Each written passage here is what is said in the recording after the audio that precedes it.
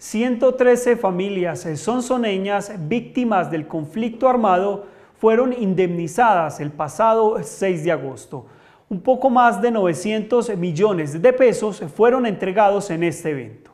En el acto simbólico de entrega de los dineros de reparación a estas familias víctimas estuvo el director para Antioquia de la Unidad Nacional de Víctimas, Wilson Córdoba. Hoy se puede materializar que más de 915 millones de pesos estamos entregando hoy aquí.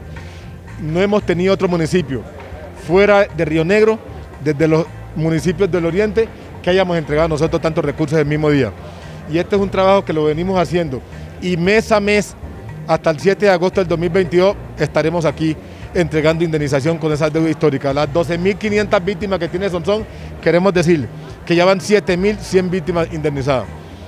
esperamos que en lo que falta este gobierno del presidente Iván Duque, podamos avanzar, que las víctimas que hoy cumplan los requisitos establecidos en la resolución 1049 los podamos indemnizar. Pues aquí el compromiso estatal, que no solamente el tema de indemnización, sino los proyectos productivos que tenemos aquí con la administración, el tema de retorno y reubicación, los sujetos de reparación colectiva que tenemos, todo lo que venimos trabajando con la administración municipal de Sonsón, la inversión que hemos hecho aquí, ya pasamos de los 15 mil millones de pesos en este municipio en estos 18 meses de, este, de, esta administración y lo que esperamos es materializar los hechos que venimos en camino, que en este gobierno del presidente Iván Duque podamos cumplir a las víctimas de Sonsón.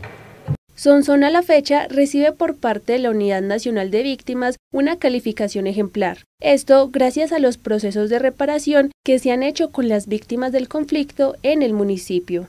Es trascendental eh, la noticia en el día de hoy, ya que se van a entregar 113 cartas cheques por un valor aproximado de más de 900 millones de pesos para el municipio de Sonsón.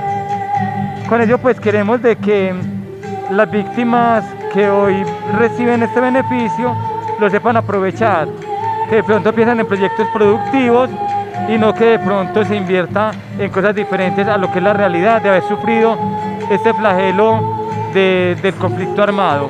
Y hoy se ve reflejada como ese trabajo mancomunado entre Administración Municipal y Mesa de Víctimas. Creemos entonces de que no es la única entrega que se va a hacer porque el doctor Wilson Córdoba lo decía.